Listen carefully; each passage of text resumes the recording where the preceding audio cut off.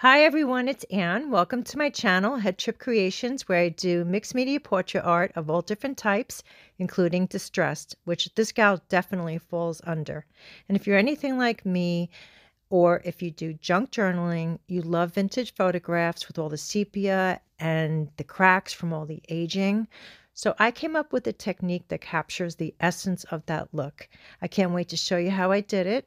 The video will start now. Enjoy. So I already did the sketch, as you can see, and to get that texture going that you need so much for that old photograph look, I decided to use joint compound for the background, and I even go into the face.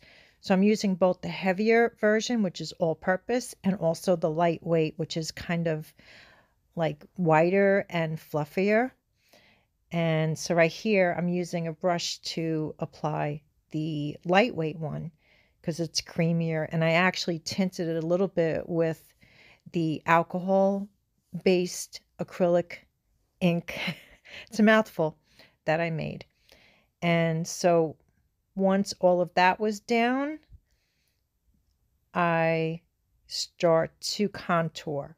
So I'm using a small applicator, like eyeshadow foam brush um, applicator, whatever you call it. And I'm just applying some black pan pastel all around wherever there's going to be a shadow. And here I'm applying it um, around the eyes, but I, instead of drawing, you'll see what I do to the eyes. Um, it was pretty daring like right here. So with the, I'm going to call it alcohol ink um, that I made with alcohol glycerin and acrylic paint, uh, burnt umber and a little bit of black. I go over the entire eye sockets. And then later I go into the white of the eyes with a little bit of gray. And so it was a little daring to do it this way, but I love the way it turned out. And here, this is mostly alcohol, and there's so much texture in the background. It's really a shame that you really can't see it on camera the way I can see it. So I'm just going layer by layer because it's alcohol and it's kind of hard to get that saturation that you need. So you have to apply it a couple of times.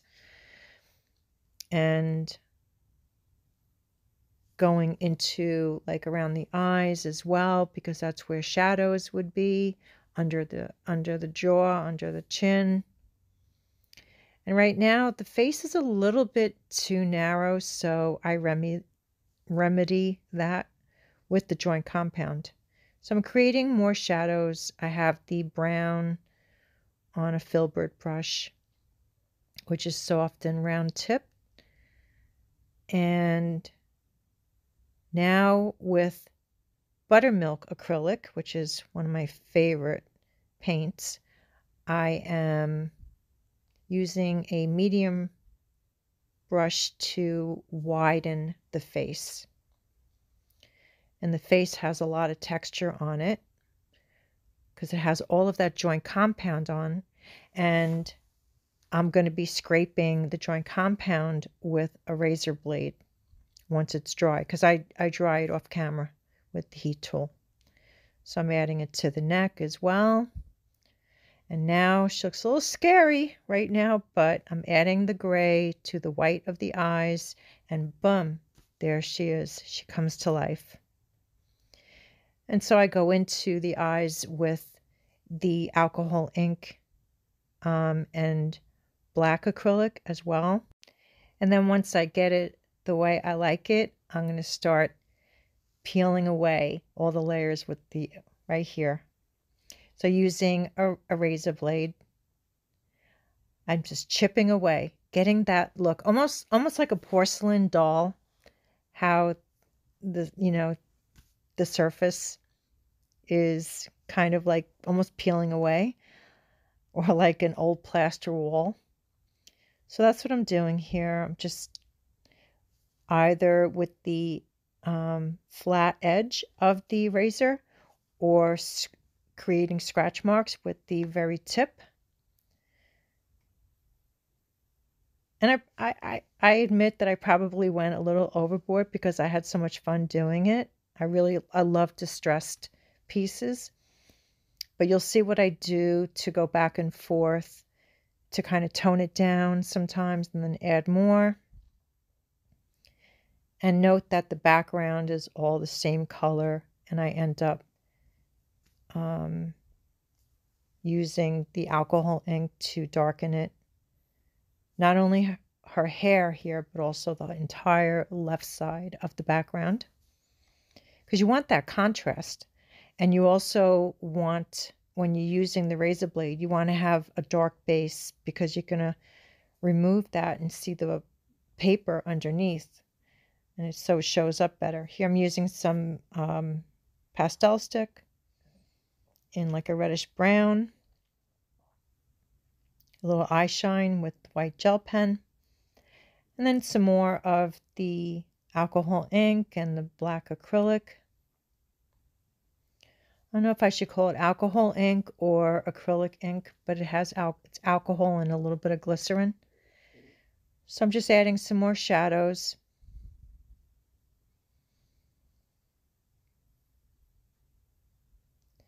First with the brush, then I use my fingers at a certain point, like right here.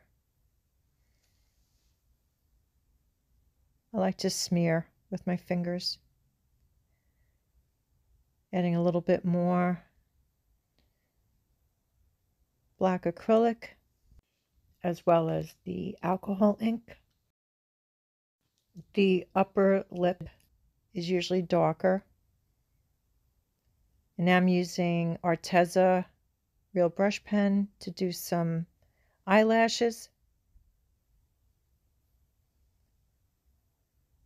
And now more of the lightweight joint compound to widen the face and shape it a little bit better. And then I dry it and then I use the razor again.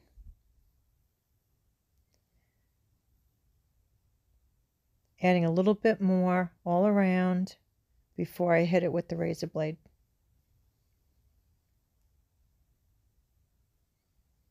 I had to stop myself. I knew I would go too far if I didn't stop. Now here, I'm using the razor blade again. And then I go back into the piece with the alcohol ink. And then I use the razor again. So back and forth, back and forth until you get that result that you're looking for.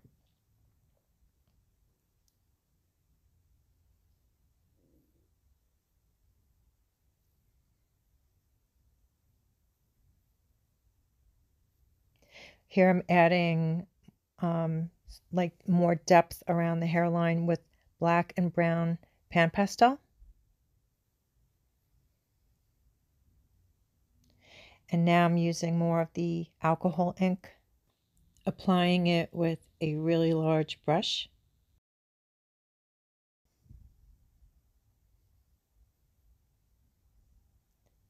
And now with the razor and you could see the joint compound coming up.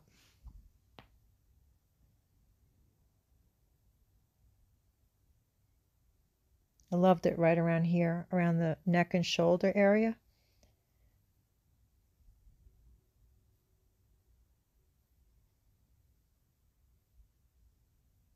It helps to use a lot of the joint compound. I didn't go too crazy where it was um, like big peaks, but it was kind of thick.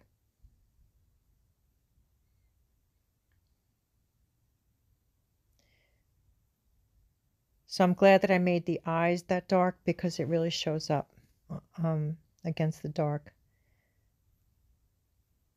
And you could see it on the face as well, but I think it's hard to tell on camera. So I'm just touching up a little bit more and she is done. Thank you so much for watching. I hope you enjoyed it as much as I did. If you have any questions about my process or my materials, which I've detailed below, leave a comment. I would love to hear from you. And if you're new to my channel and you haven't subscribed yet, I hope you will because I upload regularly. Until the next video, take care. I'll see you soon.